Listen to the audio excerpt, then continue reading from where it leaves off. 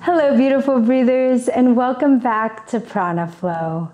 One of the most common questions I get as a breathwork instructor is should I breathe through my nose or mouth?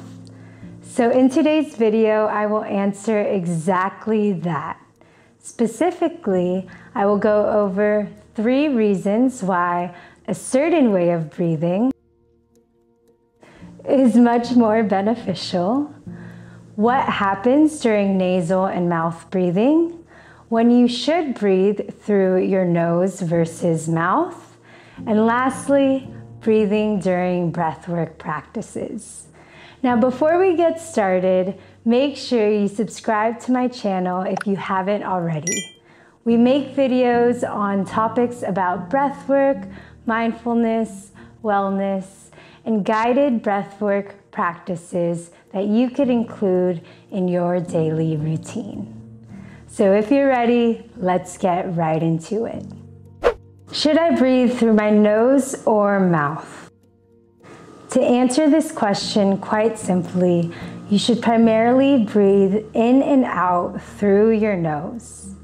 Nasal breathing is much more beneficial than mouth breathing, and I will share with you three reasons why. So, the first reason is that your nose is your natural line of defense. It's built to support our respiratory system. I mean, think about the air that we breathe. It's filled with all sorts of things pollution, bacteria, viruses. Researchers show that when we inhale, we breathe in 100 billion particles in a single day. And 80% of that gets trapped in the nose, so it never enters our lungs. Now, before I share the other two reasons, I will first explain what happens during nasal breathing. As we inhale, air passes through the nasal concha before entering the lungs. As you can see, there are these groove-like passages that are lined with mucus. It is here that the inhaled air is moisturized, humidified, warmed, and cleansed from any particles, bacteria, dust, and allergens. The moisturized clean air then travels down through the airways to the lungs. Several animals also have a nasal concha that keeps invaders and pollution out. Now, during exhalation, it's also important to use your nose. The nasal concha reheats and remoisturizes the air from the lungs and pushes out any trapped particles. So, the 80% of the particles that were trapped in the nose during inhalation gets pushed out during exhalation. Notice that when you inhale through the nose, the air might be cold and dry.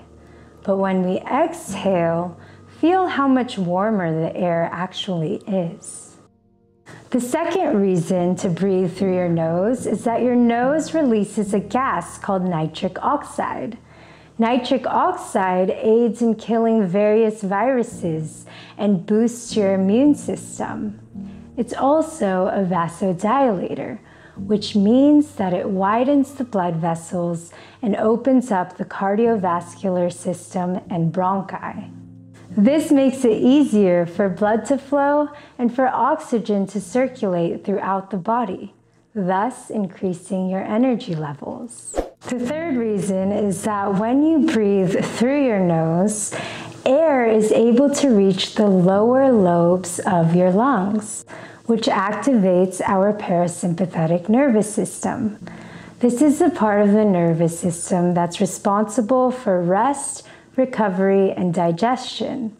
So, when your body is in a stressed state, nasal breathing can help bring a sense of calmness and enable us to function better.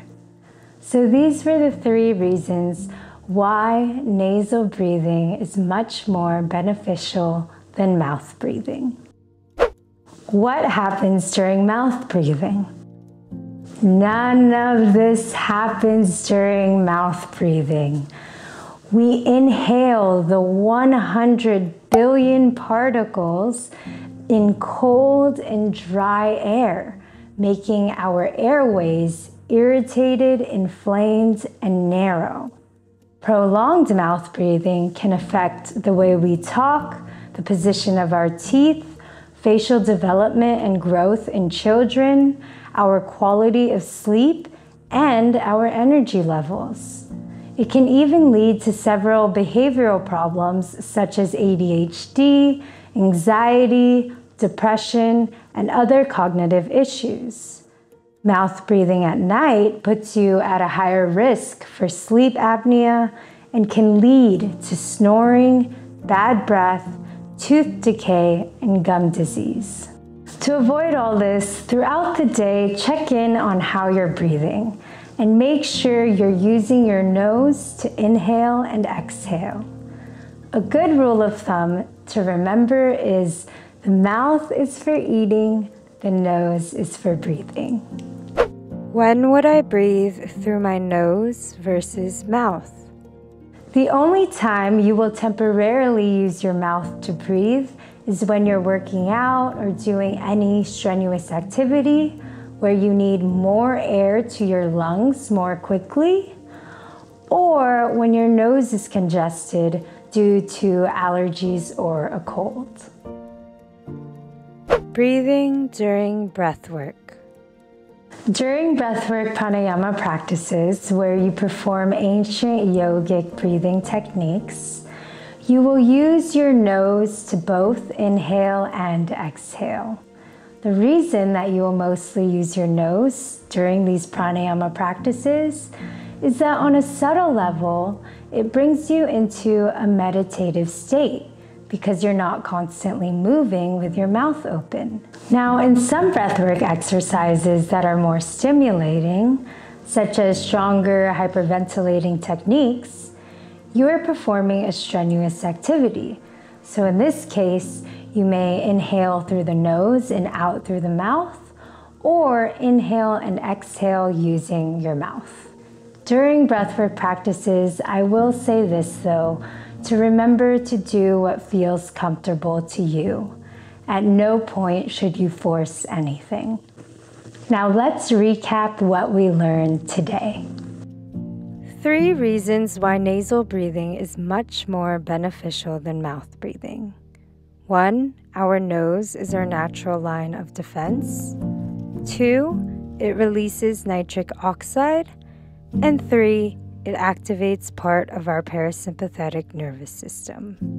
Mouth breathing can lead to physical, mental, emotional, and developmental problems.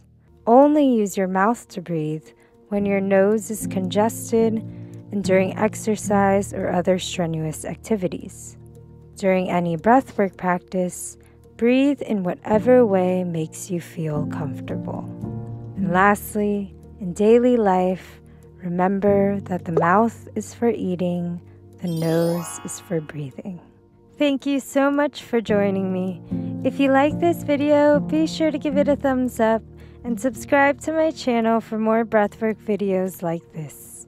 I wish you all the love and light, and I will see you soon.